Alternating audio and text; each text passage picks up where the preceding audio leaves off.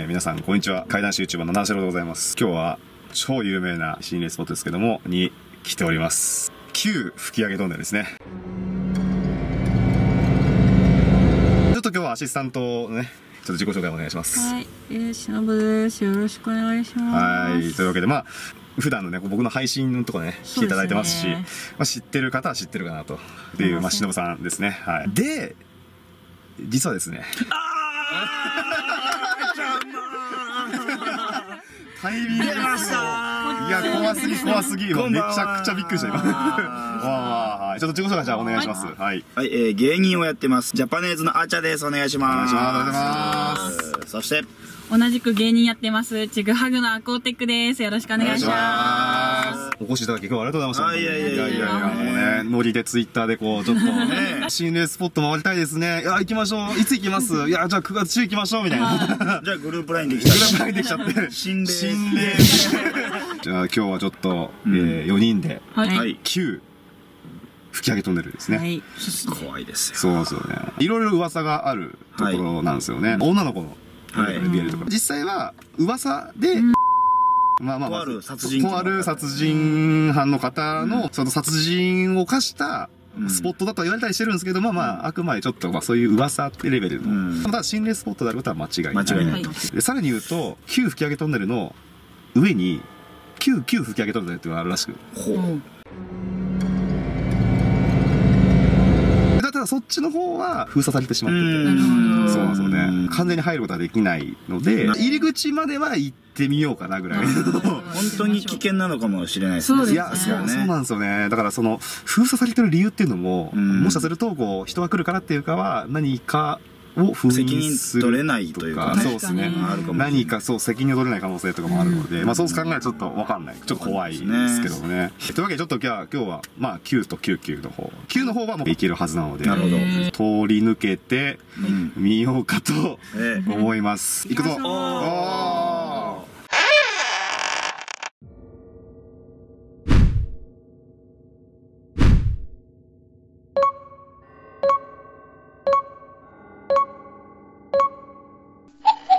なんかやばやばくないですかこれ？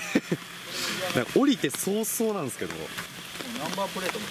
そう。ですね。立ってるんですかね、それか。なんで？なんて置かれてるのか全くわからないでもこれ、はいこのガードレール多分突っ込んでますよね。あ、本当だ。ああこれ事故なんですかねじゃそのまま。逃げたんだ。ああそのまま放置ってことなんですかねそんなことしますね、まただこれまあ動かさないでとかなんかこう危険とかだったらわかるんですけど立ち入り禁止のテープっていうのは確かに。なんか気持ち悪いですよねいつなんですかね。いつなんですかね9月11って書いてます。えこ今年？平成30年。今年だわえええ？でもよく見ると新しいよ。あ、と10日前。あ、じゃあ最新の。嘘やろちょっとなんか幸先がいいのか悪いのか まあまあ行きますかとりあえずじゃあ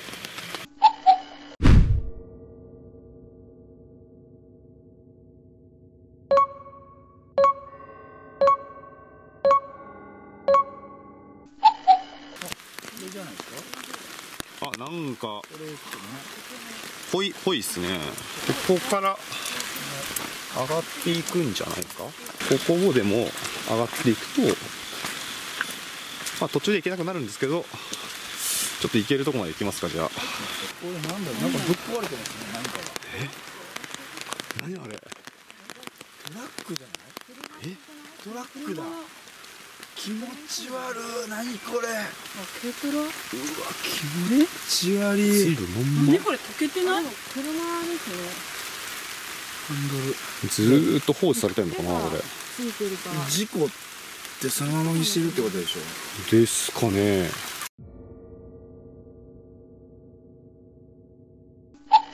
こうして走ってるまあでもだいぶ暗いけど街灯だけが頼りって感じですね。一応街灯が暗っ。ねこれ滑らしたら下落ちちゃうから、うわーちょっと気持ち悪いですねこの辺。なんか嫌な感じですね。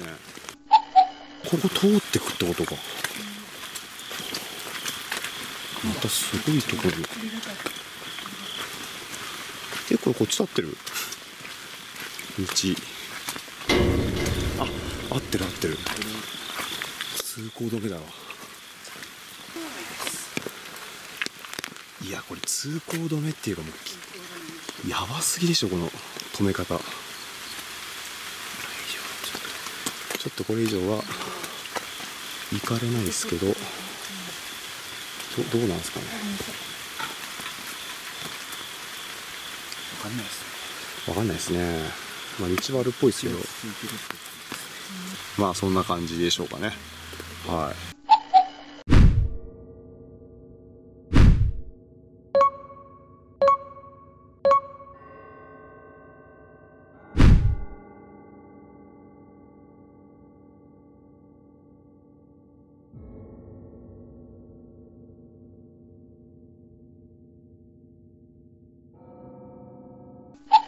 ここ怪しいな。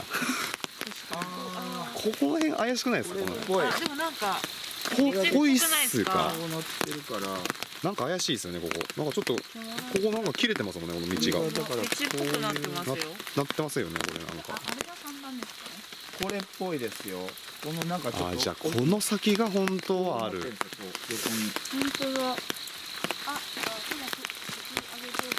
あれ？これ吹上峠入り口っていうのをもしかして合図ここからにここから上がってくるのか。なるほどね。お昼とかに見たらうん。ちゃん。と道になってるかもしれない確かに確かに。横にこう上がっていく感こう斜めに上がってくるんでしょうねこれきっと。あ行こうと思えば行けんだけどまあちょっと今日は装備がねないですし雨なんで。昼とかのが絶対いいそうですね。ちょっとお昼とかに今度まあリベンジしに来てもいいのかもしれないですね。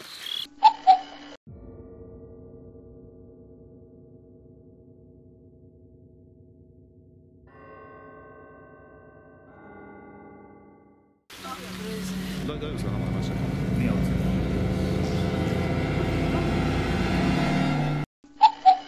よ。く見たらあちさんの富江っす富江なんです